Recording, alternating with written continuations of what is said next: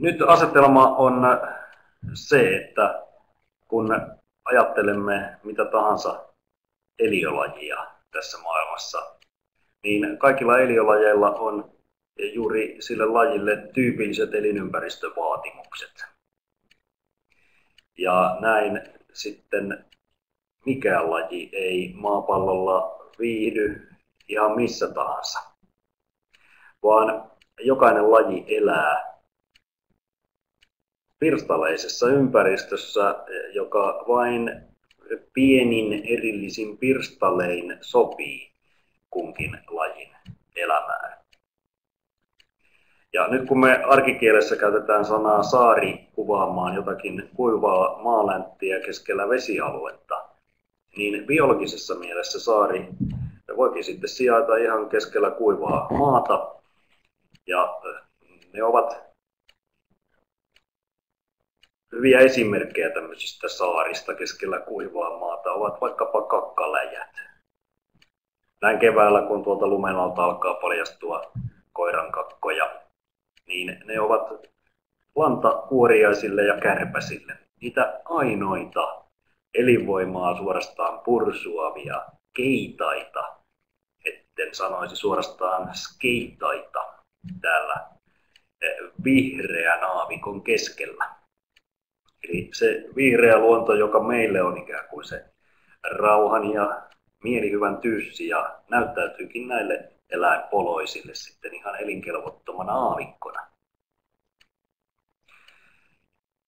Ja samaan tyyliin esimerkiksi soidellajäille. Suot ovat sellaisia kaukana toisistaan olevia varsin tarkkarajaisia saarekkeita, joilla nyt sitten ainoastaan se elämä voi tapahtua vaikkapa kihokki tai velhonlehti ovat sellaisia lihansyöjäkasveja, jotka eivät pärjää muuta kuin suoympäristössä.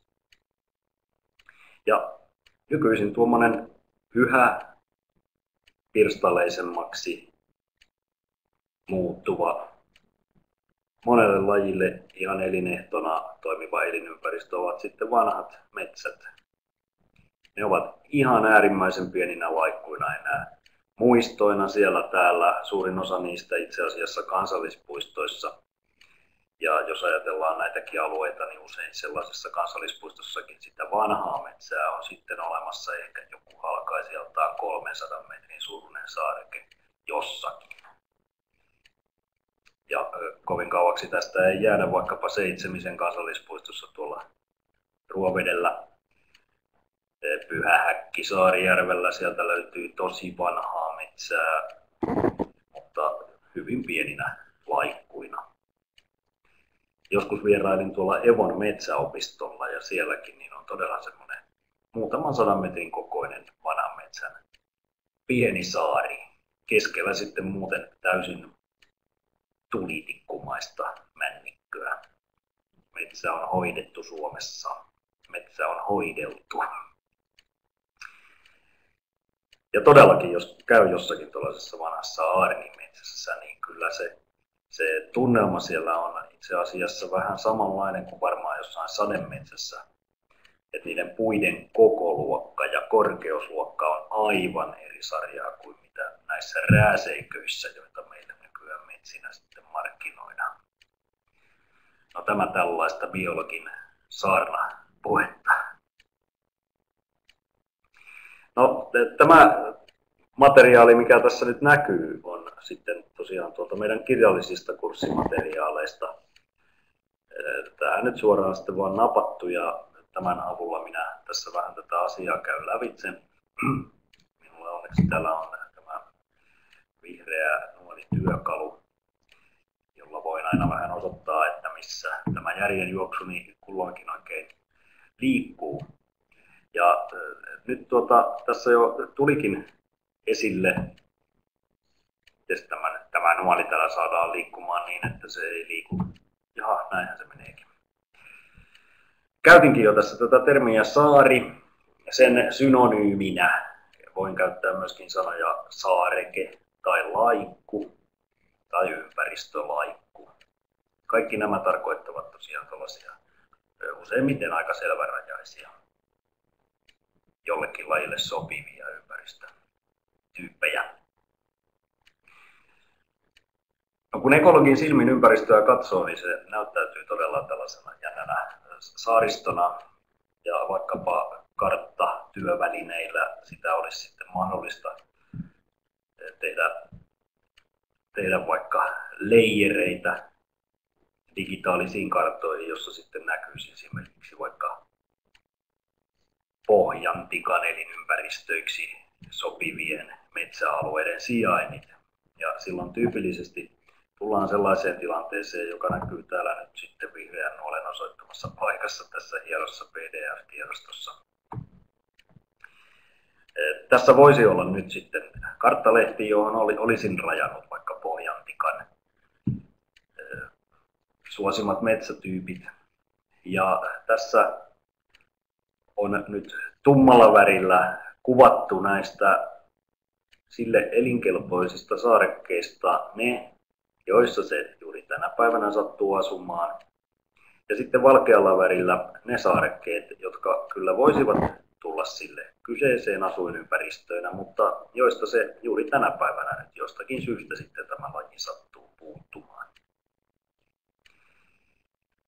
Tuollaista saareketta, jossa se tänään asustaa, siis tällaista mustalla merkittyä saareketta, kutsutaan paikallispopulaatioksi. Ja tätä karttalehdellä kaiken kaikkiaan, kaiken kaikkiaan näkyvää elinympäristötyyppien ryhmää kutsutaan nimellä metapopulaatio.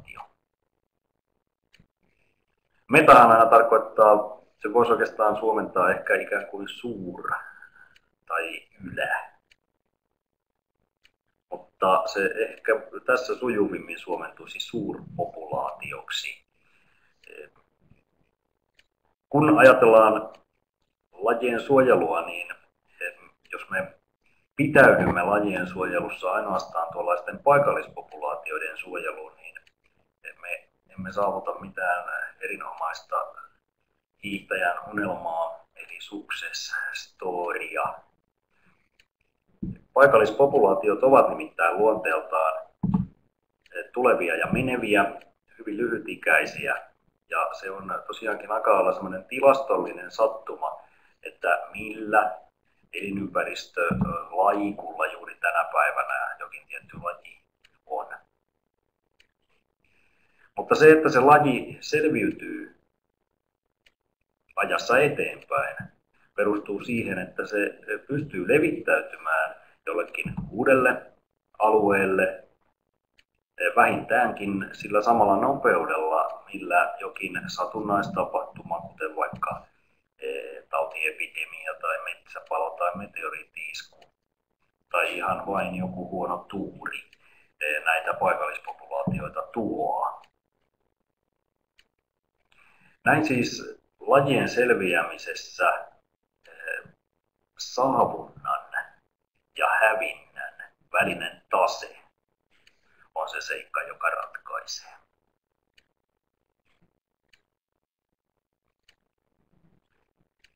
Ja eh, näihin kahteen asiaan vaikuttavia tekijöitä on sitten äärimmäisen eh, simppeliä ihan eh, toimistopöydän ääressä hieman hahmotella ja arvailla ja pohtia siinä määrin, että voidaan sitten tehdä hypoteeseja ja testata hypoteeseja tuolla luonnossa. Aika kiinnostava yksityiskohta muuten on, että Suomi on tällaisen metapopulaatiotutkimuksen ihan kärkimaita maailmanlaajuisesti ja erityisesti Helsingin yliopistossa professori Ilkka Hanskin johtama tutkimusryhmä on saavuttanut suurta kuuluisuutta ja, ja hienosti on tutkinut monien lajien saaribiologisia kohtaloita. Erityisen kuuluisaksi tämä tutkimusryhmä on tullut Ahvenanmaalla tutkittuaan siellä eläviä verkkoperhosia. Ja vaikka Ahvenanmaa nyt sinänsä on, on suomalaisittain ajatellen niin merensaaristoa, niin näiden tutkittujen verkkoperhospopulaatioiden osalta olennaista on, että siellä Ahvenanmaan eri saarissa ja Ahvenanmaan pääsaaressa erityisesti juuri tälle perhoselle sopivat ympäristöt ovat aika eristyneitä ja tiettyjen etäisyyksien päässä toisistaan. Niin, että se saaribiologinen tutkimus tapahtuu itse asiassa maa-alueella ja, ja näitä tiettyjen kasvilajien, ravintokasvilajien saarekemaisia esiintymiä. Se verkkoperhoslaji siellä sitten asuttaa ja aina välillä näitä tietyiltä saarekkeilta sitten myöskin häviää. Sellaista sattuman sanelemaa juttua se on. Jos ajatellaan sitä, että eh, meillä on jokin laji, joka esiintyy jollain aika isolla yhtenäisellä alueella, jota me voisimme tässä nyt vaikka verrata ikään kuin mantereeseen. Et meillä on eräs lähtöalue. Kakkakärpästen tilanteessa tämä lähtöalue voisi olla vaikka jossakin hevostallin päädyssä oleva loputon kakkakasa. Ja sitten mietitään sitä, että siellä ympäröivällä niityllä on hevosen jätöksiä, niin kun jokin yksittäinen, yksittäinen kärpänen tuolta harhautuu mantereelta sinne ympäröivälle niitylle, joka on sille elinkelvoton, niin jos siellä niityllä on kaksi samankokoista kakkakasaa, mutta niistä toinen on kauempana tuolta lähtöalueelta kuin toinen, niin on todennäköisempää, että kärpäset leviävät tuolle lähisaarelle. Tämä paksunuoli kuvastaa sitä. No tietysti ne tulevat lähisaarelle helpommin siinä sinne nyt sitten vähän heikoimmilla, heikommillakin paristoilla varustettu kärpänen jaksaa lentää. Ja toisaalta lähisaari löytyy helpommin, koska se sektori, jolta sitä joudutaan etsimään, on pinta pienempi kuin tällaisella etäsaarella. No vastaavasti sitten, jos meillä on kaksi erikokoista saarta, jotka ovat kuitenkin yhtä kaukana tuolta lähtöalueelta, niin silloin tietysti sokeakin kana löytää ison jyvän, mutta näkeväkään kana ei välttämättä löydä sitten ihan pienen pienen pientä jyvää. Ja näin voimme teoreettisesti mallittaa, että tällainen suuri lähisaari on se, jolle kaikkein todennäköisimmin tällaiset metapopulaatiossa paikasta toiseen siirtyvät yksilöt saapuvat. Ja metapopulaatiohan oli siis tuollainen alue, jossa on monta jonkin lajin elinympäristöksi teoriassa kelpaavaa ympäristölaikkoa, eli saareketta. No jos nämä asiat ovat sitten määräämässä tuon saavunnan nopeutta, niin hävintä, eli se seikka, että jokin paikallispopulaatio tuhoutuu, riippuu sitten siitä, että kuinka monta yksilöä eh, kuhunkin paikalliseen populaatioon kuuluu. Ja jos lajin esiintymisalue on hyvin pieni, niin silloin siellä ei voi kovin montaa yksilöäkään olla. Ja, ja silloin erilaiset sattuman sanelemat epäonnen kohtalot hävittävät lajin todennäköisemmin pieneltä alueelta kuin tuollaiselta suuremmalta. Siellä häviämisvara on kohtalaisen pieni. No, hyvä on muistaa, että maapallo on rajallinen tila ja silloin tilastollisesti jokainen laji ennemmin tai myöhemmin kuolee sukupuuttoon. Ja geologisen historian aikana meillä on ollut niin sanottuja sukupuuttoaaltoja. Niistä Pilsa ykkösessä oli puhetta Orde Petria Lee, eli Ordoviki, Devoni, Permi, Trias ja lintukauden lopussa on ollut hirmuiset sukupuuttoaallot. Toistaiseksi elämä on selvinnyt ainakin kolme ja puoli miljardia vuotta täällä kotiplaneetallamme ihan hengissä. Mutta pelkästään tuollaisen tilastollisen pakon seurausta on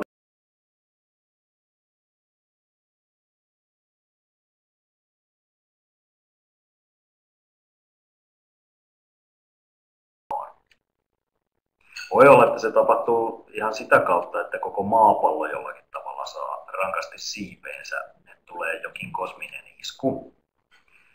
Tai sitten voi käydä vain niin, että lajit yksittäin kuolevat sukupuuttoon. Ja huvittavaa on se, että lajin ei tarvitse edes olla mitenkään harvinainen kuollakseen sukupuuttoon. Pohjois-Amerikan yleisin lintu, muuttokyyhky, saatiin hävitettyä sukupuuttoon muutamassa vuosikymmenessä, tai olisiko siihen nyt sitten sata vuotta mennyt, kun sitä järjestelmällisesti vainottiin. Samaten preeria kana siellä Pohjois-Amerikassa oli valtavan yleinen laji. Ja sekin kuolla kupsahti sukupuuttoon, kun sen edustamaa ympäristötyyppiä riittävän suurelta osin valjastettiin ihmisen viljelykäyttöön. Hyvä esimerkki siitä, miten huono tuuri saattaa sitten hävittää lajeja, oli juuri tuon preeriakanan kohtalo sitten loppuvaiheessa, kun lopulta huomattiin, että se on rankassa sukupuuttovaarassa, niin perustettiin pieni suojelualue pohjois tuonne Yhdysvaltojen itärannikolle Matsas Vineyard-nimiselle saarelle.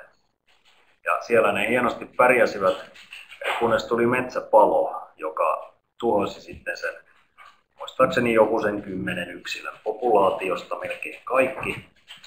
Ja ne muutamat, jotka saatiin siitä metsäpalosta sitten pysymään hengissä, niin kuolivat siihen, että sille asumisalueelle ilmestyi kanahaukka.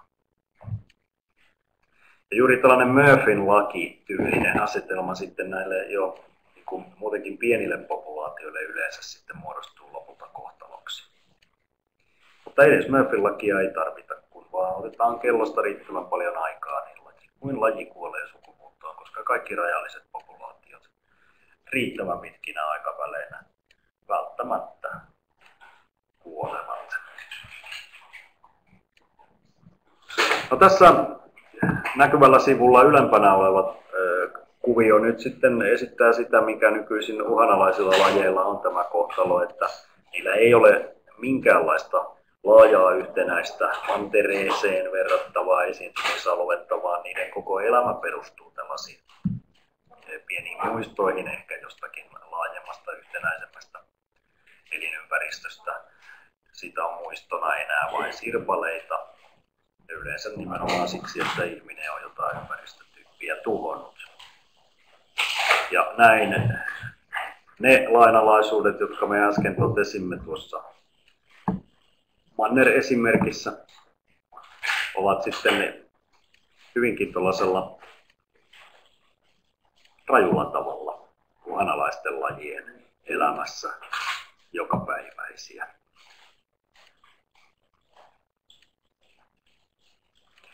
Näiden äsken esille tulleiden teoreettisten näkökulmien kautta voimme tutustua niin sanottuun Levinsin malliin, jossa tarkastellaan noita kahta asiaa, hävintää ja saavuntaa, samassa koordinaatistossa ja yhtä aikaa. Tässä näkyy Y-akselilla saavunta ja hävintä. X-akselilla puolestaan ovat näkyvissä asutussaarekkeet prosentteina.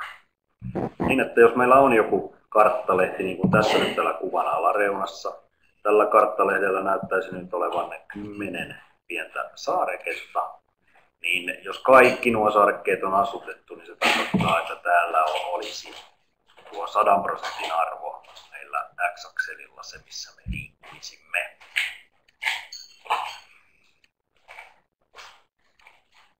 Samaten sitten hävintä on tässä koordinaatistossa täällä y-akselilla näkyvillä hävinnän määrä. Ja silloin jos me otamme kellosta riittävän paljon aikaa, täällä x-akselilla on siis myöskin tuo aika, tuolla noin lukee aika-akseli, niin riittävän paljon otetaan aikaa, niin, niin myöskin todennäköisyys sille, että kaikilta saarekkeilta nämä joku jokin tietty laji häviää, muuttuu sitten hyvin suureksi.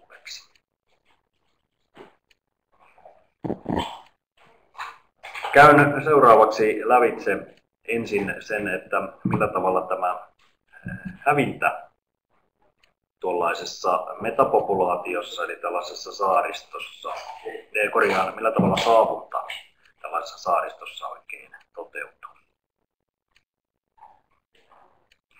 Jos ajatellaan sellaista tilannetta, että tämä saaristo, mikä tässä kuvan alareunassa tai sivun näyttömme alareunassa näkyy, jos ajatellaan tilannetta, että tämä saaristo ö, olisi nyt täysin tyhjä vaikkapa liitoiravista, niin kun sinne saapuisi ensimmäinen liitoorava, se saapuisi jollekin yksittäiselle saarekkeelle, ja sen leviäminen näille muille saarekkeille olisi aluksi hyvin hidasta, johtuen siitä, että täällä olisi vain yksi tällainen paikallispopulaatio, josta se leviäminen tämän karttaliden alueella alkaisi. Näin ollen siis eh, tätä saavuntaa kuvaava käyrä täällä alkuvaiheessa eh, on hyvin lähellä nollaa, ollaan lähellä origoa. Sitä mukaan, kun tuolla alkaisi tuo liittoorava siirtyä noille yhä uusille saarekkeille, niin siellä olisikin useampia lähtöalueita, joista tätä leviämistä samanaikaisesti näille tyhjille saarekkeille voisi tapahtua. Ja sen takia tässä pikkuhiljaa alkaa käydä niin, että tämä saavunta alkaa olla tehokkaampaa.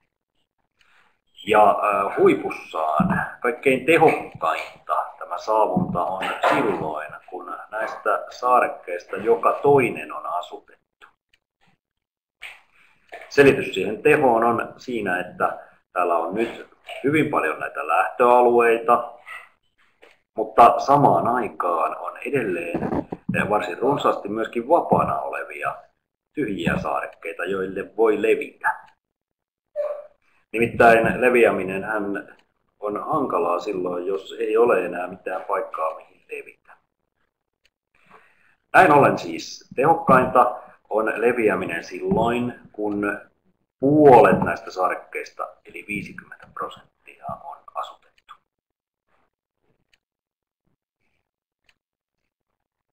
Pikkuhiljaa, kun tuo saaristo alkaa täyttyä, niin tämä saavuntaa kuvaava käyrä alkaa myöskin jälleen tulla yhä alemmaksi ja teoreettisesti, jos ajatellaan, että kaikki tuon metapopulaation saarekkeet eh, kihisisivät liitooravia, niin silloin tietysti liitooravalla menisi aika hyvin, mutta saavunta olisi nollassa, koska ei olisi enää mitään saareketta, mille edelleen voisi levitä. Näin me saadaan tällainen puoli palloa, puoli ympyrää muistuttava käyrä kuvaamaan sitä, miten saavunta kehittyy jossakin saaristossa, niin kuin tässä nyt meidän näyttöruutumme alareunassa vaikkapa on. No samaan aikaan tässä lajin levitessä näille uusille saarekkeille täällä kuitenkin sukupuuton vaara jyllää ja näillä asutuilla saarekkeilla tapahtuu sitten tuota häviämistä. Se, että miten jyrkkä tämä hävintää kuvaava käyrä on, riippuu tietysti hyvin monesta asiasta ja erityisesti se riippuu lajin kyvystä tuottaa uusia jälkeläisiä. Jos laji tuottaa vain harvoin ja hyvin vähän jälkeläisiä, niin silloin tuo hävintäkin on suurempaa. Ja olennaista kuitenkin on se, että jos meillä on tällainen malli, jossa on hävintä ja on saavunta, niin jossakin kohdassa nämä kaksi käyrää leikkaavat toisensa. Ja se tarkoittaa sitä, että tällä saarekkeiden määrällä, tässä meidän esimerkissä, tässä täysin kuvitteellisessa esimerkissä, se, se niiden leikkauskohta tapahtuisi tuossa 35 prosentin kohdalla. Eli eräällä asutettujen saarekkeiden määrällä saavunta ja hävintä ovat yhtä suuria. Ja tämä tarkoittaa nyt sitä, että jos tässä saaristossa hetkellisesti asutettaisiinkin vähän useampia saaria kuin tuo 35, niin silloin tämä hävinnän käyrä alkaa kulkea korkeammalla kuin mitä tuo saavunta. Ja kun hävintä on kerran voimakkaampaa kuin saavunta, niin se tarkoittaa, että siellä ikään kuin ne ylimääräiset saarekkeet jokin niistä, todennäköisemmin tietysti tuo pieni tuolla noin, tyhjenee. Ja niin saavutaan takaisin tähän 35 prosenttiin, mikä on saarekkeista asutettu. Vastaavasti, jos jokin huono tuuri hetkellisesti tyhjentäisi noita saarekkeita, niin, että asuttuja saarekkeita olisikin enää vaikkapa 20 prosenttia. Niin sellaisessa tilanteessa puolestaan tuo saavunnan käppyrä onkin korkeammalla kuin hävinnän käyrä. Ja niin vaikka vähän aikaa täällä olisikin aika monta saareketta tyhjänä, niin ei mene kovin kauaa, kun tämä korkeammalla oleva saavuntakäyrä jälleen täyttää ne tyhjinä olevat saarekkeet niin, että palataan takaisin tähän 35 prosentin asutustasoon. Ja näin ikään kuin tämmöisen dynaamisen heilunnan pieni mahdollisuus tässä on, tai jatkuvaa, jatkuvaa pientä dynaamista heiluntaa tämän tasapainon molemmin puolin, mutta keskimäärin 35 prosenttia tässä kuvitellussa esimerkissä on asutettuja saarekkeita. Tämän kaavion opetus on se, että jos suojelemme jotakin lajia niin, että me käymme tuolla maastossa tsekkaamassa, että onko jokin yksittäinen tällainen ympäristölaikku asutettu tänään. Ja jos siellä ei ole tänään jotain uhanalaista lajia, niin me esimerkiksi perustamme uuden lähiön tai vaikka jyräämme moottoritien tämän saarekkeen yli Tällaisessa tilanteessa meillä tämä sadan prosentin kohta tällä eh, käyrällä siirtyy lähemmäksi origoa. Ja periaatteessa, jos ajatellaan tuota äskeistä lähestymistapaa, me voitaisiin vaikka tällä karttalehdellä ihan vaikka huviksemme periaatteessa eh, nykyisen luonnonsuojelulain osalta niin käydä tuhoamassa nämä saarekkeet, mistä ei löydy juuri tänään jotain ja silloin tässä jatkotilanne olisi se, että ne lähtötilanteessa lajille kelvanneet, mutta tyhjät saarekkeet kun on tuhottu, niin uusi 100 prosentin arvo tuleekin nyt tuolle kohdalle, missä äsken oli 35. Ja kun tässä tilanteessa edelleen on olemassa kuitenkin tuo hävinnän käyrä tuolla, niin saavunnan käyrän puoliympyrän ja äh, hävinnän käyrän leikkauspiste hyppääkin nyt aika paljon tuosta edellisestä leikkauspisteestä kohti origoa. Ja silloin asutettujen saarten määrä jää tämän katkoviivan ja origon väliin. Ja nyt tyhjiä saarekkeita ovat kaikki nämä, jotka jäävät tähän akselin tähän vihreän nuolle osoittamaan kohtaan. Ja nyt taas nuo voidaan hyvällä omalla tunnolla, nuo tänään tyhjinä olevat sarkkeet tuhota. Ja sen jälkeen taas 100 prosentin paikka onkin tuolla, missä äsken oli tuo tasapainotila.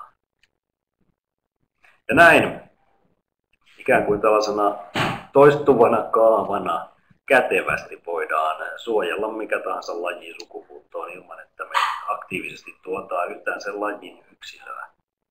Me ainoastaan harvennetaan tätä metapopulaation esiintymisalueessa olevaa saaristoa.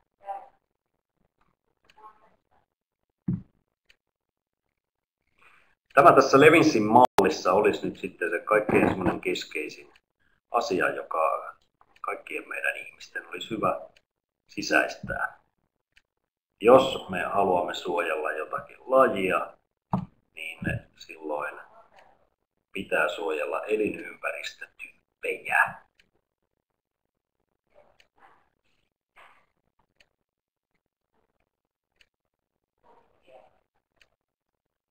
Ihmisen vaikutus ympäristön pirstaloitumiseen on tietysti aivan keskeinen nykyisin. Ja tässä pirstaloitumisessa on mielenkiintoinen asia, että se tapahtuu hyppäyksellisesti. Kun alkujaan jokin yhtenäinen elinympäristö alkaa pirstoutua, niin siihen ensiksi tulee vain pieniä reikiä. Esimerkiksi vaikka Etelä-Suomessa viljelykäyttöön valloitetut pellot. Pikkuhiljaa pokkaistiin aikaisemmin reeviin lehtoihin. Ja vähitellen näitä tämmöisiä reikiä sinne alkaa muodostua. Siinä vaiheessa vielä laji pystyy, vaikkapa metsien laji, pystyy siirtymään vapaasti paikasta toiseen. Metsä on vielä yhtenäistä, siellä on vain tiettyjä ihmistoiminnan aiheuttamia reikiä. Mutta kun tämä reikintyminen jatkuu riittävän pitkälle, niin reijistä tuleekin enemmistö ja ne metsät alkavat olla enää pieninä toisistaan erillisinä saarekkeina. Ja just tämä yhtenäisen elinympäristötyypin muuttuminen repaleiseksi saaristoksi tapahtuu vähän niin kuin salakavalasti. Et kun tietty reikintymisen kynnysarvo ylitetään, niin silloin tota, näiden tällaisten ekologisten käytävien verkosto lakkaa olemasta ja ympäristö muuttuu tosiaan repaleiseksi saaristoksi. No kun ihminen ympäristöä muokkaa, niin se yleensä tapahtuu juuri sillä vähän salakavalasti, että, että pikkuhiljaa nakerretaan jostain isommasta vaikka juuri metsästä pieniä alueita, johonkin tulee soraa kuoppa johonkin vähän parkkipaikkaa, jonnekin tehdään varastorakennusta ja jonnekin tulee joku iso asutuskeskus. Ja kukaan ei oikein kiinnitä huomiota siihen, että mikä on se laajempi kehityskulku. Vasta sitten reagoidaan, kun se on oikeastaan jo liian myöhäistä. No, samalla tavalla sitten tähän ympäristön pirstoutumiseen liittyy se, että, että lajimäärien, siis ei yksittäisen lajin yksilömäärien, vaan jollakin saarekkeella elävien eri lajien määrä romahtaa. On nimittäin olemassa sellainen tutkimustulos, että aina kun jonkun elinympäristötyypin, jonkin saarekkeen pinta-ala kasvaa kymmenkertaiseksi, niin sen saarekkeen lajimäärä kaksinkertaistuu. Ja tämä meinaa sitä, että kun joku saareke on riittävän suuri, niin vaikka sitä suurennettaisiin absoluuttisesti hyvinkin paljon, niin se lajimäärä ei siitä juurikaan suurene. Sen sijaan, jos meillä on oikein pieniä saarekkeita, niin niiden huomattava suurentaminen sitten lisää lajimäärää hyvin tuntuvastikin. Ja nyt tässä tullaan sitten siihen, että, että lajimäärät kanssa romahtavat tuollaisessa pirstaloitumistilanteessa itse asiassa vasta sitten, kun ollaan eh, hyvin pienissä, pinta hyvin pienissä saarekkeissa.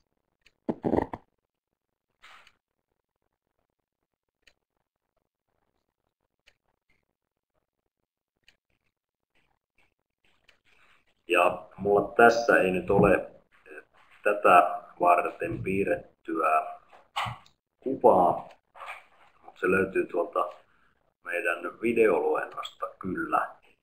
Se, että miten lajimäärät romahtavat ryöpsähtämällä, mutta, mutta tota, että jos ajatellaan, että, että pinta-alan kymmenkertaistuessa lajimäärä kaksinkertaistuu, niin silloin kun tasaisella vauhdilla pienennetään jonkun alueen pinta-alaa, niin mitä pienempää aluetta pienennetään sillä tasaisella nopeudella, niin sitä dramaattisemmin se lajimäärä myöskin pienenee. Se tuntuu vasta siellä pienissä ympäristötyypeissä yhtäkkiä varsin tuntuvasti.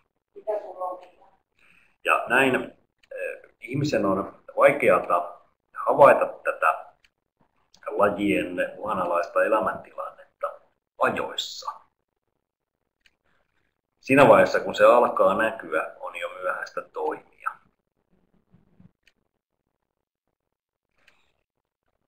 Ja tämä on tosiaan sellainen keskeinen juttu. Meillä todennäköisesti nyt on aika paljon tällaista eh, makset, maksamista odottavaa sukupuuttovelkaa tässä tulevina vuosina toteutumassa, kun mitä moninaisimmat ympäristötyypit on pirstottu hyvin pieniksi saarekkeiksi, niin siellä on moni laji elää ikään kuin jatkoajalla.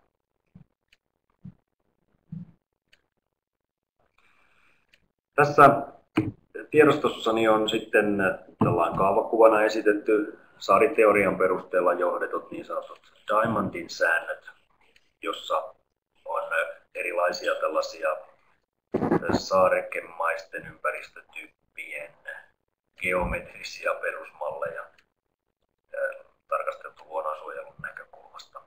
Vasemmalla olevat ratkaisut ovat parempia ja oikealla näkyvät ratkaisut ovat sitten aina huonompia kuvaparin osalta. No tässä nyt kuitenkin niin sitten on tiettyjä erikoistilanteita, joissa se huonous ja paremmuus on vähän vaikea asia. Jos ajatellaan vaikka tätä kohtaa kaksi, jossa vasemmalla on yksi yhtenäinen elinympäristöalue ja oikealla se on sitten pirstoutunut neljäksi pienemmäksi, niin vaikka jossain tautiepidemiatilanteessa tämä oikeanpuoleinen asetelma ei välttämättä olekaan ihan koska silloin siinä saaristossa on parempi puskurointikyky sitä tautia vastaan. Jos se tulee nyt yhdelle tällaiselle pienelle saarekkeelle, niin se ei välttämättä leviä näille kaikille, mikä taas ei ole tilanne silloin, jos meillä on yksi yhtenäinen ympäristö. Tässä ehkä merkille pantavaa on se, että suojelualueiden sijoittuminen tässä kohdassa neljä on verkostotieteellisesti parempi tässä vasemmalla kuin oikealla, koska vasemmalla jokaisesta saarekkeesta on yhtä pitkä matka muihin saarekkeisiin. Täällä oikeanpuoleisessa tilanteessa sen sijaan on reunimaiset saarekkeet, niin, niin voi olla saapuvaa liikennettä vain yhdestä naapurisaarekkeesta. Tässä kohdassa viisi näkyy sitten ekologisten käytävien merkitys. Jos emme pysty järjestämään yhtenäistä isoa aluetta, niin on hyvä, jos voimme organisoida tästä ympäristötyypistä edes pienen tuommoisen kapean yhteyden sitten naapurisaarekkeeseen, joka helpottaa lajien siirtymistä. Tässä on tämä tämmöinen single large or several small tuota, juttu, joka muuten on sellainen muistisääntö SLOS, joka liittyy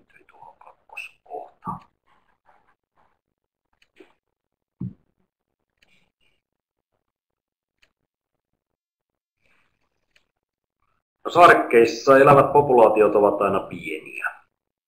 Ja pienet populaatiot ovat itse asiassa vielä pienempiä kuin mitä ne näyttävät. Ja tähän olen listannut sitten vähän perusteluita tälle väittämälle. Nimittäin lajien kohtalo on riippuvainen lisääntymisikäisten naaraiden määrästä. Koirailla ei ole oikein osaa eikä arpaa siihen, että miten laji selviää, koska me emme pysty tuottamaan niitä uusia yksilöitä. Ja pienissä populaatioissa voi käydä sitten niin assusti, että siellä onkin tuo eh, sukupuolijakautuma epäsymmetrinen. Sattuman kaupalla voi olla niin, että siellä on enemmän koiraita kuin naaraita. Toinen asia, mikä tähän liittyy, on se, että sattuman kaupalla sen populaation ikäjakautuma voi olla hullunkurinen. Voi olla, että siellä on hyvin monta yksilöä, jotka eivät vielä olekaan lisääntymiskypsiä, vaan ovat nuoria. Tai sitten voi olla, että siellä on iso osa porukasta, jotka on liian vanhoja lisääntymään. Ja silloin se aktiivisten lisääntyvien naaraiden osuus sattumalta voi olla aika vähäinen. Ja tämän ikäjakautuman selvittäminen on monesti aika vaikeata tuolla ympäristöä ihan vain katselemalla. Perinnöllinen heikkeneminen on toinen asia, joka pienissä populaatioissa tulee esille. Siellähän väkisinkin on aika vähän noita geeniversioita, erilaisia geeniversioita alleeleita. Ja silloin voi olla, että jokin poikkeuksellisen kylmä vuosi tai kasvien kyseessä ole vaikka jokin kuivuuskausi saattaa sitten tulla kohtalokkaaksi, jos näitä haasteissa tarvittavia geeniversioita ei siitä populaatiosta löydy. Ja sitten pienissä populaatioissa usein jälkeläisiä tuotetaan lähisukulaisten kesken ja tätä kutsutaan sukusiitokseksi. Sen geneettinen vaara on siinä, että silloin monet haitalliset geeniversiot, jotka heterozygoottisina eivät aiheuta ongelmia, rikastuvatkin yksilöihin ihan sattumalta homozygoottisina. Ja niin kuin tiedämme tuolta Piosan kakkoskurssin risteytysasioista, niin, monet perinnölliset sairaudet ovat juuri sellaisia, että se pitää saada molemmilta vanhemmilta se sama virheellinen geeni ennen kuin se tauti tulee. Tätä on siis homotsykotia, että allakin on, eli tsykootti saa kaksi samanlaista geeniversiota. Ja pienissä populaatioissa tämä on hyvin yleistä. Kolmas asia liittyy sitten lisääntymisrituaaleihin. Monet lajit tarvitsevat jonkinlaisen soitimen, vaikkapa teeri tai metso. Ja hirvieläimet siellä pitää vähän päästä urosten taistelemaan, että, että lisääntymisvire saavutetaan. Sitten monilla lajeilla myöskin tuo hedelmällinen aika eli kiima se aika ikkuna on aika lyhyt ja jos kanta on hyvin pieni, niin voi olla, että nämä aktiiviset otukset eivät kohtaa toisiaan niin, että kumpikin olisi samaan aikaan aktiivinen. Siis koiras ja naaras. Ja sitten ihan tämä tilastollinen seikka, tämä kohta neljä, että jos meillä on pieni populaatio, niin siinä myöskin sitten nuo maailman tuulet tuivertavat sellaiset. Iso paha tulee ja puhaltaa sen pois. Tässä saariteoriaan liittyviä perusilmiöitä luentomuodossa. Ja tästä tämä aihe on kohtalaisen helppo ymmärtää tällä tavalla, kun sen toinen selittää. Mutta tätä on itse asiassa aika vaikeaa sitten kirjallisesti esseessä saada ilmaistua toiselle ihmiselle ymmärrettävästi. Ja niinpä jälleen kerran suosittelen, että sinä siellä kotona harjoittelet tämän asian selittämistä ensin puheellen jollekin lähi tutullesi, puheellen ja piirrelle. Ja sitten kun saat sen suullisesti esittää, niin voit myöskin kokeilla sitten sitä, että syntyisiköhän tästä aiheesta vaikka ihan esseekin.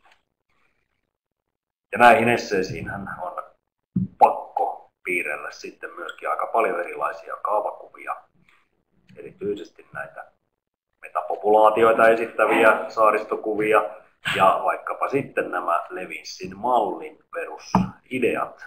Näitä ei oikein muuten voi selittää kuin niin, että piirrät kuvan ja selität sen.